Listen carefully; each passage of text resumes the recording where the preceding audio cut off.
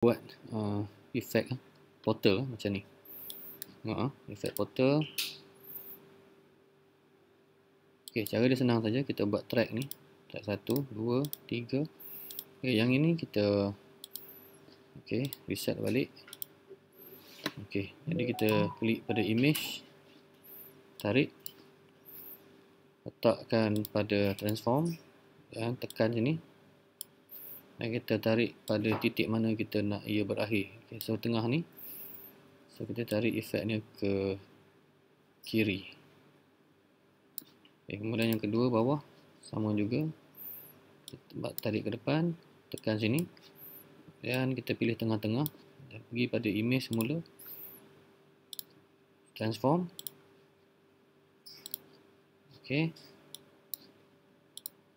Transform tarik di sini dan kita tarik lagi. Okey. Bukan. Itu tarik sini. Okey.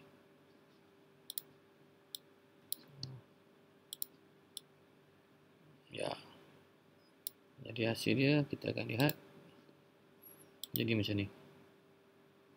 Ha, seolah-olah image itu dibuka portal. Kemudian kita akan ajar bagaimana untuk masking gambar rencana.